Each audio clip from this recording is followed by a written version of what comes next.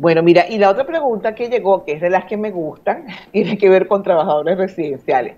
Y esto es una pregunta, Elías, que nos llega muchas veces, ¿no? Nosotros hemos visto eh, en ocasiones de decir, mire, yo no tengo, yo no tengo trabajadora residencial, yo tengo una persona que va a limpiar dos veces al día, se le paga inmediatamente terminada su jornada, pero nosotros ya, ya no tenemos trabajador residencial. Pues la pregunta que aquí nos hacen es la siguiente, que si una trabajadora doméstica de un miembro de la Junta de Condominio o un propietario también puede ser la trabajadora residencial de su edificio. Es posible tener dos patronos, es posible que ella pueda cumplir con estas eh, dos labores y tiene el carácter de trabajadora residencial.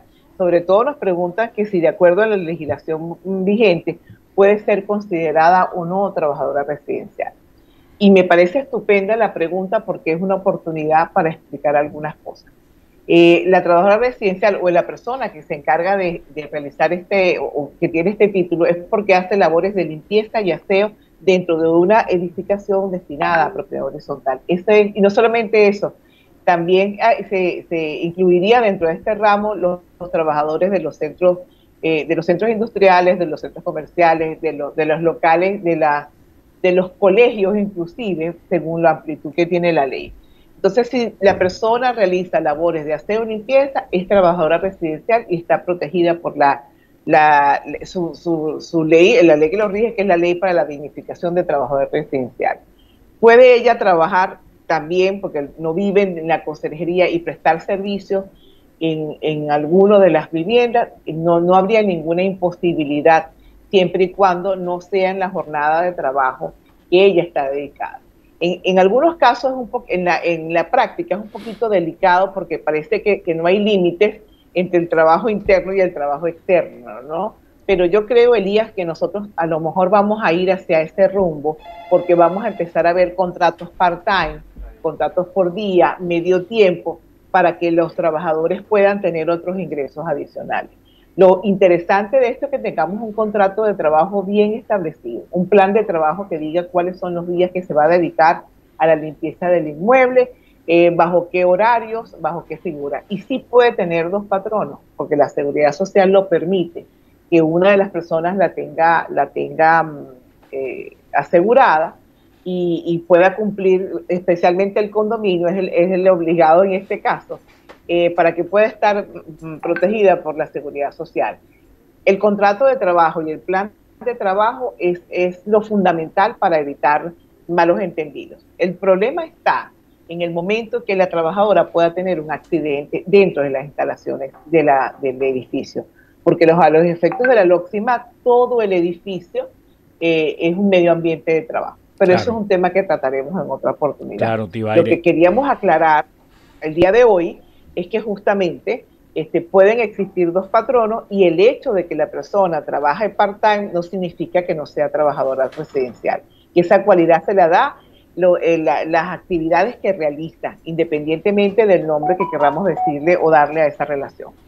Sí, Tibaire, y además que el programa, la iniciativa de condominios productivos, vecinos emprendedores, también puede englobar a un trabajador residencial que puede pensar si trabaja en un edificio que tiene 70 apartamentos, 48 apartamentos, puede plantearse el desarrollar esta actividad como representante de, una, de, alguna empresa productora de bienes, de servicios, que ella pueda comercializar puerta a puerta utilizando la figura del grupo de WhatsApp y prácticamente sin moverse de su lugar de vivienda y de su lugar de, de trabajo en el condominio, pueda ella también aumentar sus niveles de ingresos y dedicar una parte de su tiempo, como bien dices tú, que la tendencia va a ser a la flexibilización. ¿Qué cantidad de descubrimientos ¿no? hemos hecho sobre relaciones laborales en estos tiempos de pandemia y cuarentena para las grandes corporaciones, para las empresas pequeñas y también en una relación laboral tan sencilla como la del condominio con la conserje? ¿no?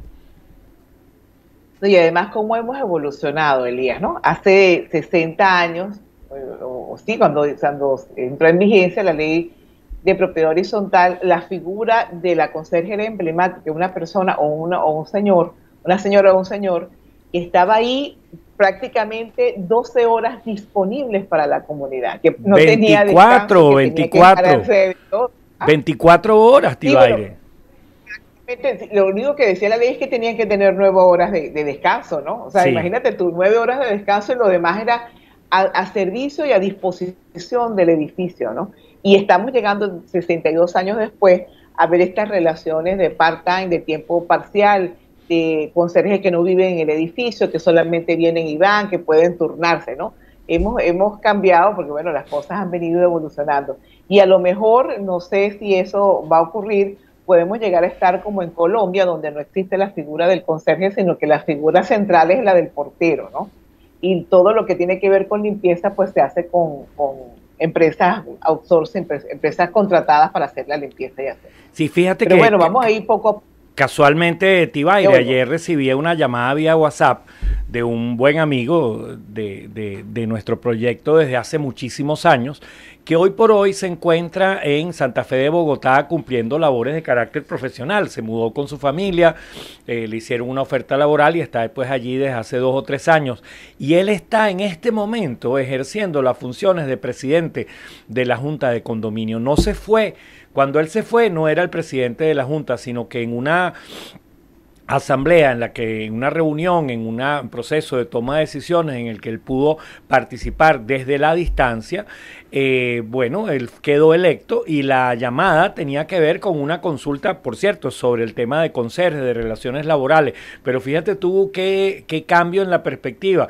Y le, le preguntaba Ramón, ¿y qué, qué, tal es ser presidente desde, desde Bogotá, del condominio en el que tú vivías en Caracas? Y decía, oye, soy mucho más eficiente, llevo las cosas mucho más al día y una gran ventaja, ¿no? Este, atiendo los mensajes de WhatsApp, la comunicación de los vecinos en el momento en que puedo y de pronto no tengo eh, que dedicar un tiempo a, las reuniones presenciales, a, atender a alguien presencialmente, y eso le daba la posibilidad de dedicar poco tiempo a la semana a sus funciones de presidente de la Junta de Condominio con altos niveles de eficiencia. ¿Qué te parece?